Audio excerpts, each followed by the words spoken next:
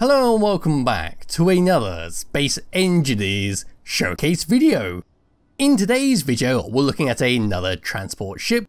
This time it is utilising the vector thrust script in order to have thrusters on hinges in order to get around. Now the vector thrust script is something I've showcased on this channel multiple times before and it allows you to have thrusters on stuff such as hinges and rotors in order to skip out having thrusters in each direction. In this particular setup, we've got hinges to control the upwards, down and left and right. Pressing F10 and finding the Bobcat in the spawn menu, there it is. This thing is 1145 small blocks using the Sparks of the Future DLC pack and the Wasteland DLC pack. It uses no mods, but of course it's got a few scripts in order for it to function. So we'll give this a little thumbs up and come all the way around to the front. We'll have a quick look around the outside. So at the very front here, in fact, I'll just move my character out of the way. There we go. This is what we have at the front. So we've got our fighter cockpit to fly this thing around and of course control everything to do with our script. And in front of that and surrounding it, we've got some dirty steel blocks with two spotlights and two interior lights at the front. The two interior lights are for our emergency beacon where if we activate number 9 on our hotbar, we'll start blinking and put out a emergency distress signal. If we move around the side past our cockpit, we'll see how our hinge is coming across from the main body onto our large atmospheric thruster. The atmospheric thruster has been surrounded a little bit by some steel blocks for some protection and of course decoration, and we do have some barred window blocks there from our Wasteland DLC pack for some more additional decoration. If we continue along the side there, we've got some cameras and spotlights just behind our cockpit, just to be able to light up the darkness and to aim this thing if we don't get a good view from the cockpit window. And as we move all the way along over to here, we can see some gyroscopes inside there. We do have some parachute hatches on the side, and we do have a doorway to go in and out. Coming up this little part here is how we're going to transport our passengers from one place to another. Our chairs have been angled via a rotor, and we do have plenty of LCD screens, plenty of program blocks in here, telling us absolutely everything going on with this ship. And some of these I have never seen before, but that is some fancy stuff right there, telling you the battery power and the usage and all that. That is very clean display. Yes, we'll come back to that a bit later. Coming out there and continuing along, we're going to see another thruster pod right here with the same setup as the one at the front. Just a large atmospheric thruster, some steel blocks, barred windows on a hinge. Now come across over to the very back where we have a single static large atmospheric thruster to push us around and four small ones to help us stop. We've of course got our Wasteland DLC brake lights at the very back there, and another spotlight just to help light it up in the darkness. If you were just to drop down and come underneath, we'll see another green light, as well as some small atmospheric thrusters, we can see the bottoms of a few batteries, and we've got some blast door edge blocks that run all the way along the base of this thing, so we did take a hard fall, we're not going to be damaging it too much.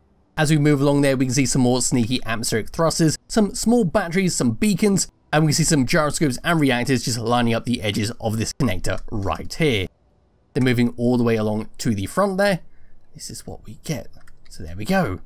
Then if we were to come up and above, there's our cockpit right there. We can see the tops of our spotlights. We can see another gyroscope right there. A laser antenna on the very tippy top as our main decoration piece. Then towards the back, some more blast door edge blocks. And we see in there a small little beacon to make sure we can always find this thing. And there is our thrusters right there. So if I was to quickly grab my character, we can have a quick look inside, then we'll get into the fun part of testing this thing out. Now, I will just do a word of warning, because this is a vector thrust ship. It's going to be a little bit wonky to fly around, so it's not going to be absolutely perfect like most ships with static thrusters, but you do have to kind of use your imagination a bit with these types of ships. Coming up to here and opening up the doorway, we do have a button on both sides to close this up.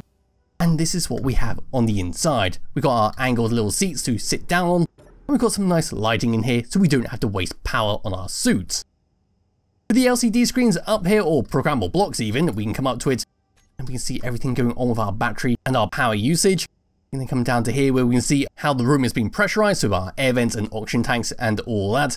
Then of course we've got our thrusters and reactors and what going on with them.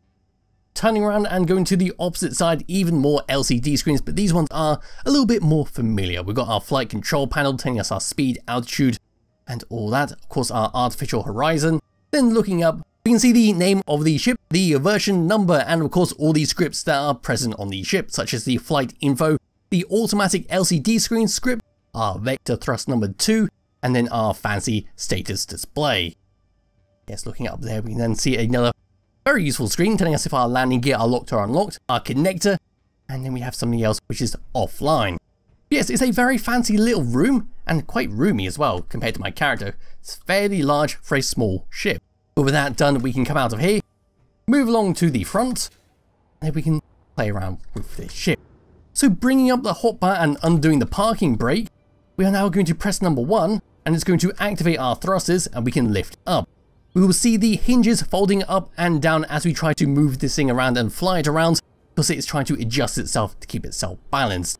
The only downside of using a vector thrust ship is that you can't really keep it perfectly still. As you can see there, we are fairly balanced and the ship itself will not be able to stop completely. It's going to drift a little bit as it tries to adjust itself constantly.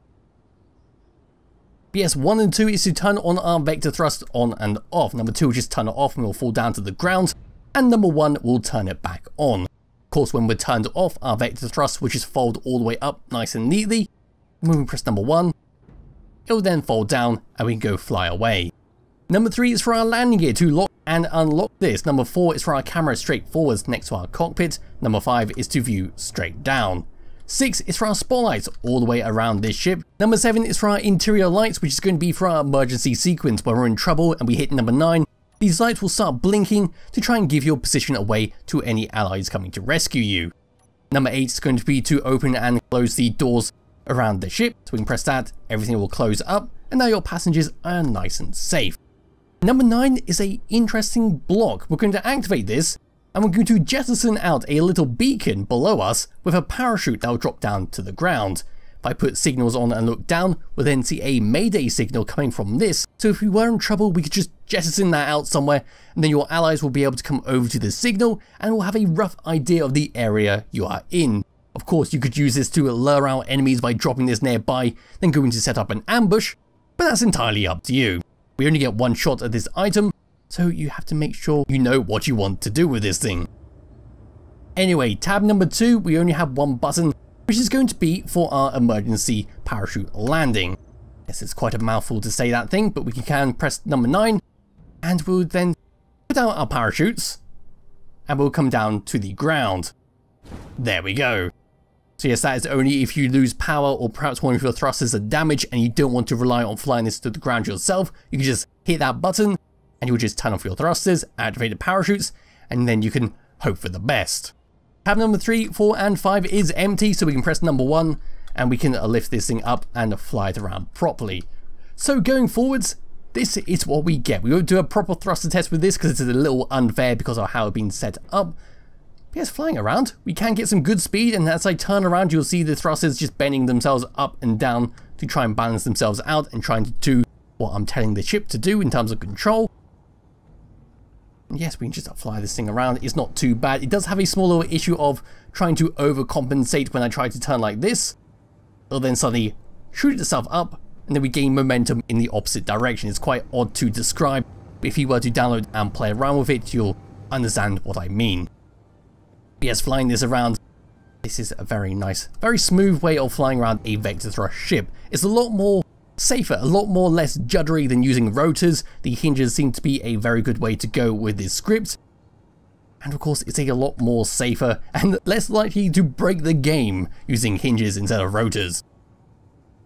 But that is pretty much it for the Bobcat transport ship. It's a very nice little ship to play around with. It's a lot going on with it and I do highly recommend you download and check it out just to see how this script handles and the things you could do with it. I know I personally experimented with this script before and I do have a little ship over here called the Failed Ship, because unfortunately it has a tendency to turn itself into a blender and then spontaneously explode.